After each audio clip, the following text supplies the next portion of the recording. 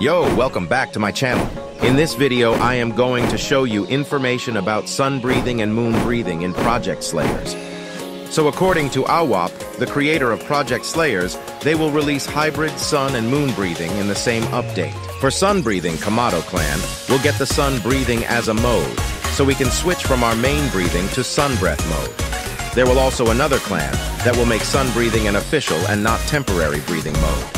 So far based in the anime and the manga, the known users for sun breathing are Yoriichi, Sumiyoshi, Tanjuro, and Tanjiro. Now, they will probably made Tsugikuni clan as the only clan capable of using sun breathing as the main breath.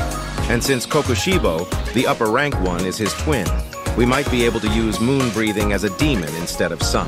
There is also Zenitsu Senior, called Kaigaku Inadama, who became a demon and can also use breathing, thunder breath.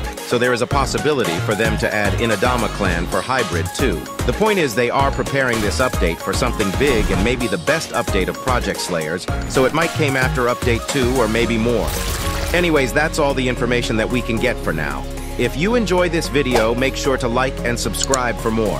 Thanks.